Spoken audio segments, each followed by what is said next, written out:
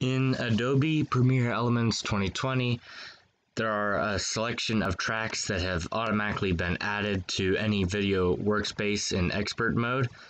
The problem is that we only have three video and audio combination tracks at the moment.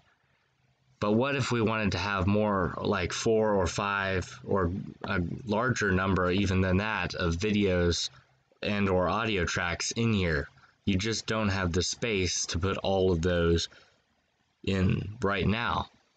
However, we can go up to the timeline and click and go to the drop down menu and click add tracks. Now we can add video tracks and or audio tracks.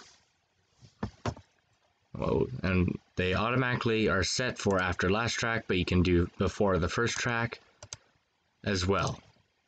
So we're going to add two more video tracks and two more audio tracks. And we're going to hit OK. And now we have audio and video 4 and audio and video 5. So we've greatly expanded our workspace here in Adobe Premiere Elements 2020.